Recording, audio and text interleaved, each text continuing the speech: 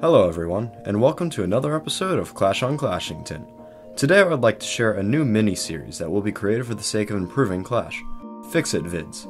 Now, we at Home Brewery, like all two of us, will try our best to ensure the cards created for the game are regulated and balanced before release.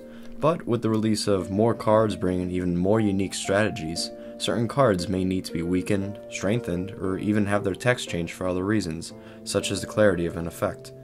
In order to make sure the Clash community is aware of changes made, four things will be enacted whenever a change is made.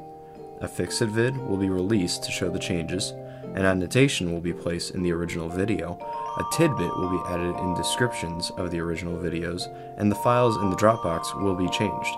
I'll be releasing a fix-it vid for some cards when necessary, but moreover, a fix-it vid will be released soon for a slight change in the rules. Now no worries though, it is something very small, and I will make sure all the revisions are made so everyone can see it. Overall, that was just a little update I felt I needed to add, especially with the Fix-It vids, because they'll definitely help along the line, especially as Clash improves over time and expands. So, on that note, I wish you all out there to keep on clashing and fixing. Please leave comments about some potential changes you'd like to see as well.